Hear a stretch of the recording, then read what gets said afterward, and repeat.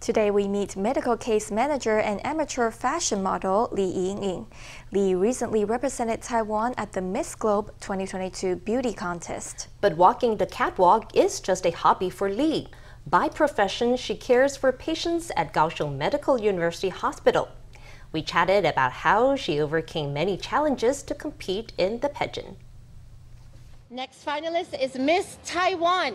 Lee Einein competes proudly alongside many accomplished young women from around the world in the Miss Globe 2022 competition. Standing tall at 174 centimeters, she moves with grace and assurance. I come from Taiwan, a beautiful country with many friendly people like me. 我英文其实绘画没有这么的好。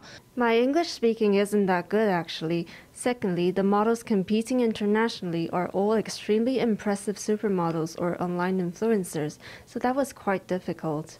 Lee graduated top of her class from the psychology department at Kaohsiung Medical University. Now, she works as a case manager at the affiliated hospital. The role, which is somewhat similar to social work, requires her to accompany and take care of patients. In her spare time, she prepared intensively for the Miss Globe stage. Uh,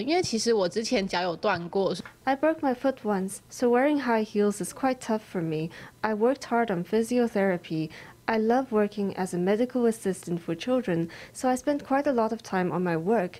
Normally, I use the time after work and evenings to practice my runway walk, workout, and take care of my health. Lee garnered lots of experience in fashion shows and modeling at university. You might never guess how she was bullied at school for being too tall. Now, in her work, she hopes to help many other people who are going through dark times.